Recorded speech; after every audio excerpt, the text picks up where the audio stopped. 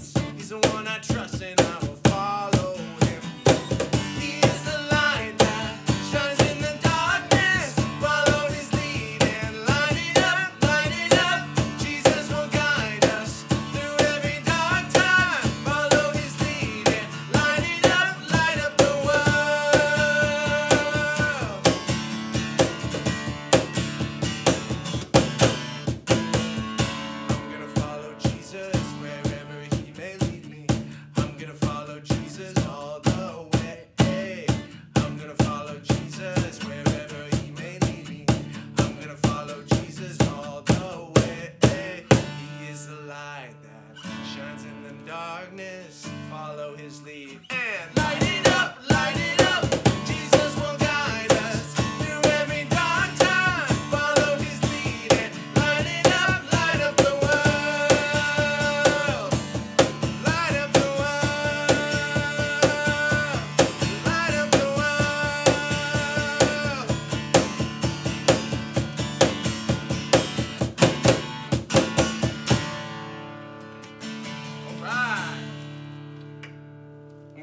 my capo on here for the next song. Here we go. It goes like this. This one has some actions to it. So what we're gonna go is we're gonna say, your love is so high, your love is so wide, your love is so deep, your love is so long. You think you can do that? All right, it goes like this. Your love is so high, your love is so wide, your love so deep, your love is so long, your love so high, your love is so wide, your love so deep, your love is so long. One more time. It's so high, your love.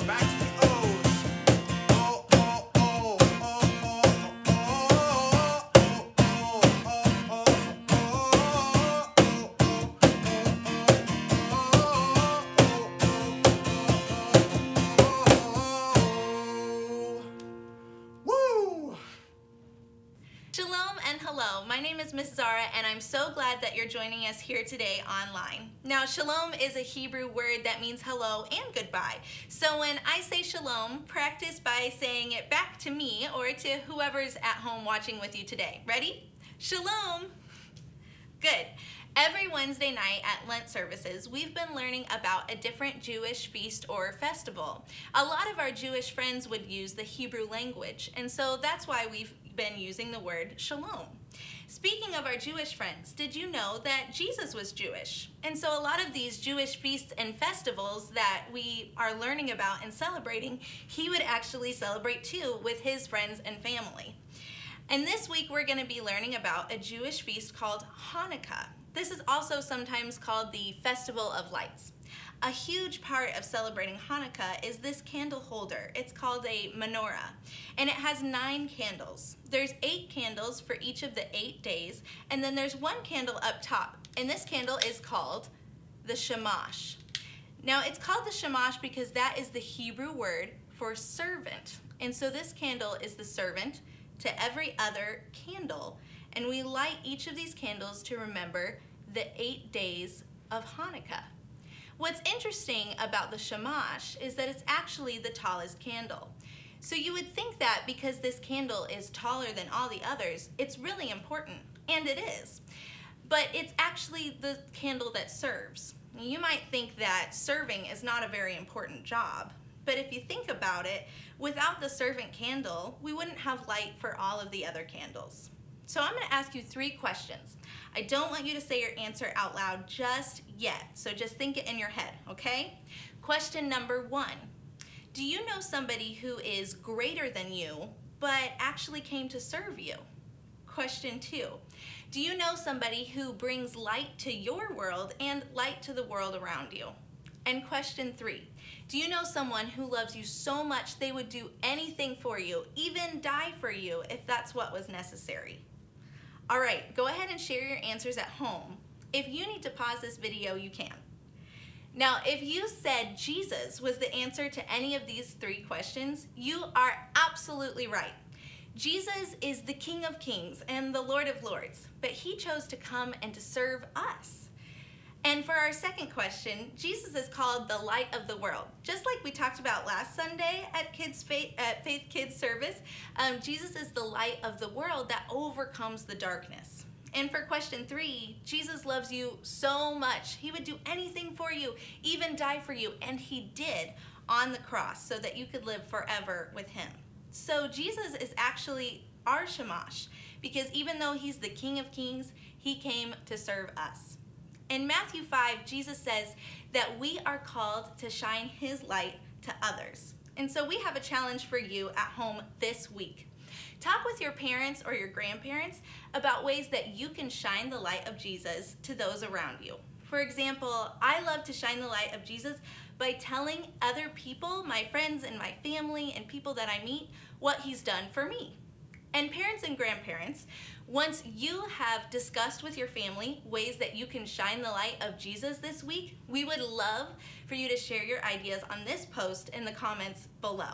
So let's go ahead and pray before we head out. Dear God, thank you so much for this day. Thank you for Facebook Live and all of the things that uh, we can do to get to know you more and to spend some time worshiping you, um, especially with our families at home. Thank you that your son is the light of the world.